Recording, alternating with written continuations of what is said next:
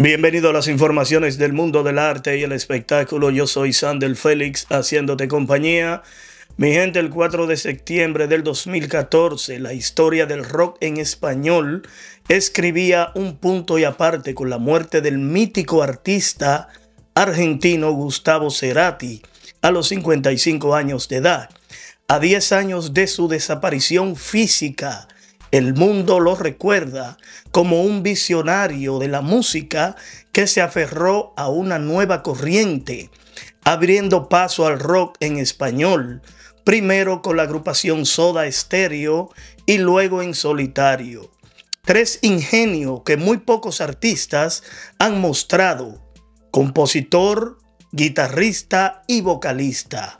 Recuerden que el músico llevaba cuatro años en estado vegetativo como consecuencia de un accidente cerebrovascular ACV que había sufrido el 15 de mayo del 2010 al terminar un concierto en Venezuela. No olviden suscribirse, activar la campanita y compartir los videos.